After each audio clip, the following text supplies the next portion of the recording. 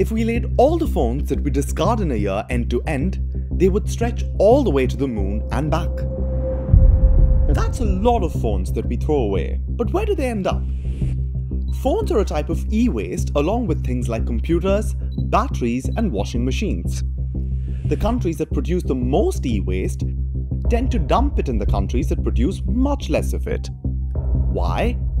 E waste exporting countries and companies save money by sending e waste to poorer countries, where regulations on hazardous waste handling and recycling are less strict. And so, local communities and the environment in these countries pay a steep price. E waste is projected to double to 100 million metric tons per year within the next 30 years.